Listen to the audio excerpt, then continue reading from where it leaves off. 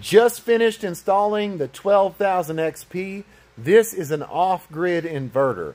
So if you live in a cabin off-grid or a home and you need power, go check this out. Special discount code for the next 30 days ending May 8th is TADDY100. You can go to signaturesolar.com and use discount code TADDY100 to get $100 off of this specific inverter. If you want to check out the full installation video, I linked it to this video, so click the link. Let me show you this inverter and what I'm using this inverter to power. I built this lean-to to hold 16 Sirius PV 415 watt panels that I have tied into that inverter. I got those panels from Signature Solar.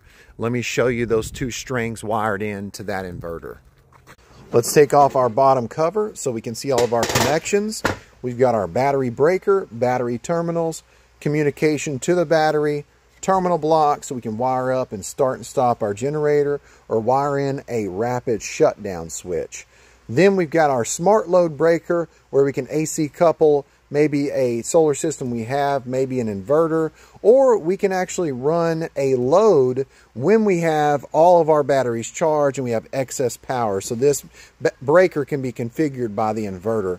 Incredible. We can run a well pump, water heater, whatever load you want to run. Then we've got our load breaker that goes to our breaker panel and I am running my, or I'm powering my EG4 mini split at night when it's not using PV. It's being powered by the off-grid inverter.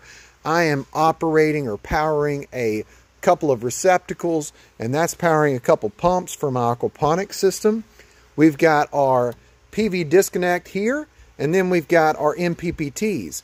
You've got two MPPTs, and there are two inputs per MPPT. So I've got two strings eight 415 watt panels for this string, eight 415 watt panels for this string, providing me with about 270 volts. Then if we want to back up our home, we've got our grid terminals, then we've got our generator. So we can actually use a generator with this. Take a look at the display. Look what we got.